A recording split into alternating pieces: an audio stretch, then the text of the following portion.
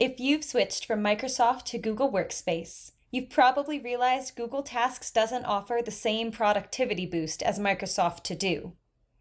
By adding GQueues to your Google Workspace, you can get all the features of To Do and more. Here's how to get started. Sign in to GQueues with your Google account. Set up teams or categories. They're both like thematic buckets to organize your task lists. Teams are ideal for collaborative work, similar to plans in Microsoft Teams. Create queues within the team or category. Queues are the equivalent of task lists in To-Do, or buckets in Microsoft Teams. This is where your tasks will live.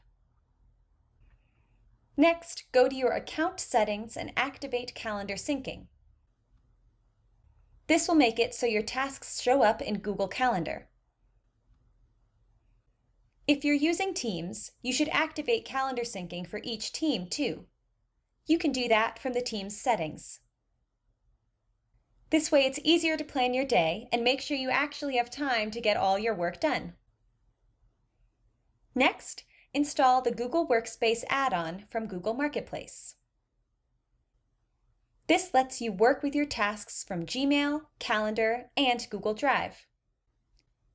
It also makes it possible to attach or link your emails to tasks for simpler follow-up. If you want an extra productivity boost, you should also install GQueues on your Google account, so you can access it from your Apps menu. All that's left is to start adding your tasks.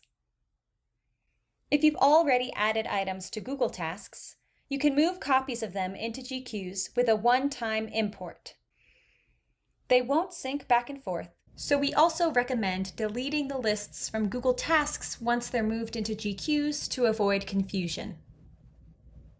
There are a couple options for adding tasks manually in GQueues.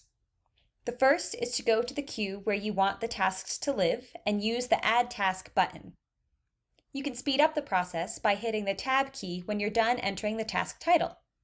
This will get a new task started right away and your hands never have to leave the keyboard. The inbox is a great place to start if you just want to get everything out of your head as quickly as possible. Then you can drag and drop the tasks to different queues later.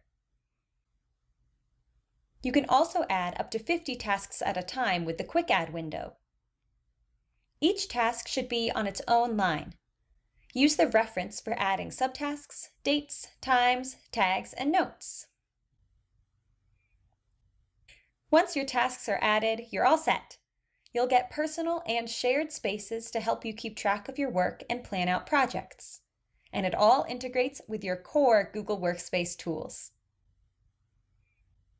Get the full task management functionality you're used to by adding GQueues to your Google Workspace. Start your free trial today.